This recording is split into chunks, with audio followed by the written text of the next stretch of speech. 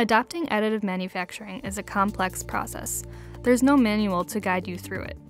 That's why we introduced our three phase model to illustrate the major steps. No matter what phase you're in, Mindware advisors can help you tackle the priority challenges and advance towards your AM goals. Let's illustrate the second phase experiment. This is the stage for research and development when businesses run a series of tests and investigations to ensure their project is not only technically feasible, does the part work as intended, but that it is also commercially viable.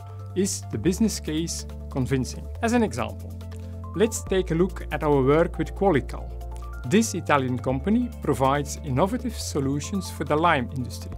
Their team already completed the explore phase and identified a suitable application for 3D printing, a shaft level indicator. This device has the critical task of measuring and balancing the amount of limestone material available at any time in the production process. The promise of AM for this application was that it could improve the performance, the size and the weight of the device, leading to potential savings of up to 20,000 US dollar per year. The challenge now was to turn this into a reality by deciding on the most suitable 3D printing method and material for the application before creating the optimal design. That's why Qualical came to the Mindware experts. We began this process by laying out the requirements of the part.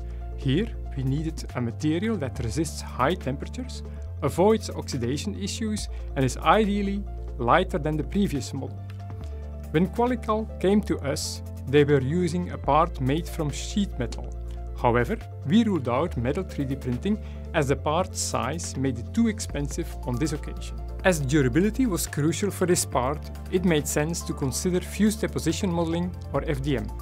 The wide range of polymers traditionally used in FDM are known for their strength and are often used in heavy industry, However, this method would require the additional removal of support structures, which costs money and time, meaning it would not be commercially viable here.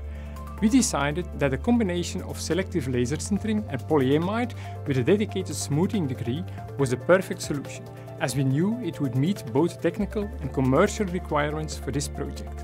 Because we switched from traditional metal manufacturing to additive plastic printing, we had to rethink the entire design to unlock AM's full potential.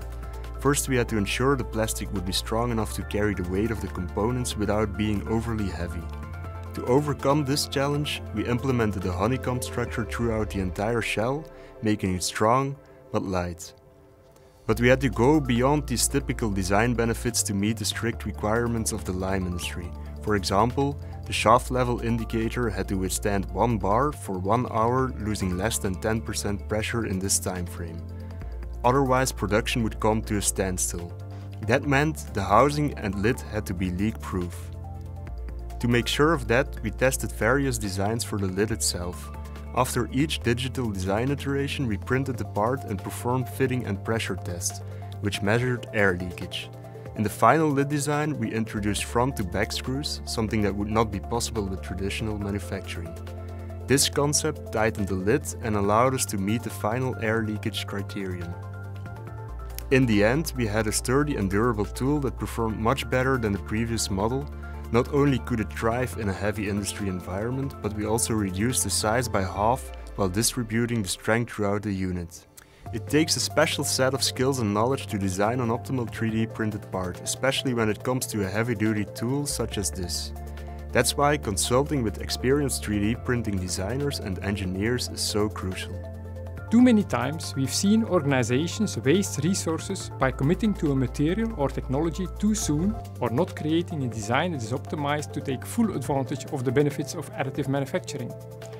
Companies can only truly know they've made the right choice by testing and validating, as we did with Qualical, preferably with unbiased 3D printing experts. Eager to learn how Mindware can help you future proof your business? Get in touch with our experts today.